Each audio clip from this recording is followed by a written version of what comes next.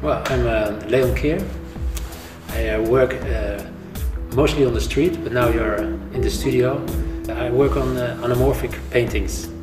Uh, anamorphic is a kind of technique which you can use from one point perspective.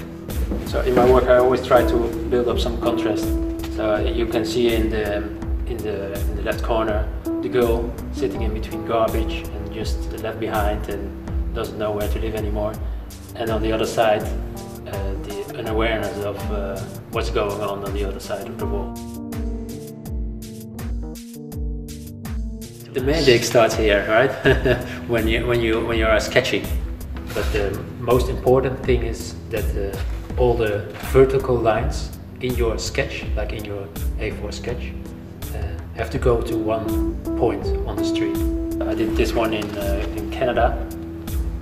It's called a geological conflict, and it's uh, uh, I painted this monopoly board, uh, and instead of all the well-known names of all the streets, I put in all the, the tribes of the Native Americans, and it shows that they are being monopolized by these big oil companies, which are trying to overrule their own land by building up the pipe, gas lines, or oil lines.